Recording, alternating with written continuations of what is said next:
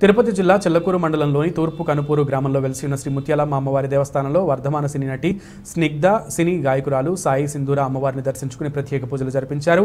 దేవి శరన్నవరాత్రి ఉత్సవాల్లో భాగంగా దేవస్థానంలో జరుగుతున్న ప్రత్యేక పూజల్లో వారు పాల్గొని అమ్మవారిని దర్శించుకుని తీర్థ ప్రసాదాలు స్వీకరించారు.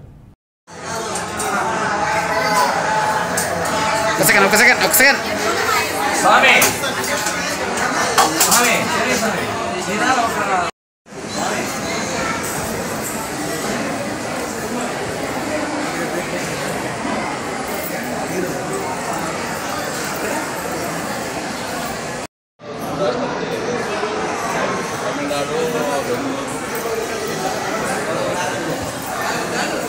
ఆచరణ పుష్కం జాతర జాతరప్పుడు కనీసం ఒక సింహాసనేశ్వరి జగన్న సూచితా దేవగాధిష్ఠంపురా ఉద్యపాను సహస్రామ వామసింపురా రాజస్వరూపమాచార్య గోళాకారాశిశోపురా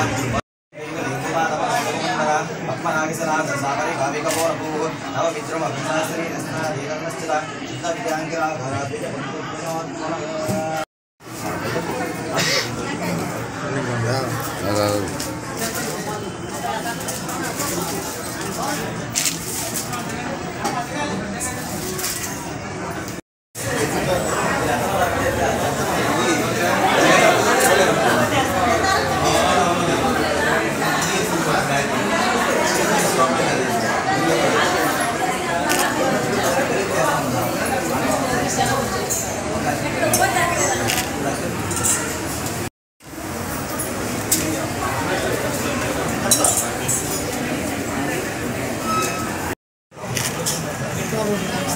सर सर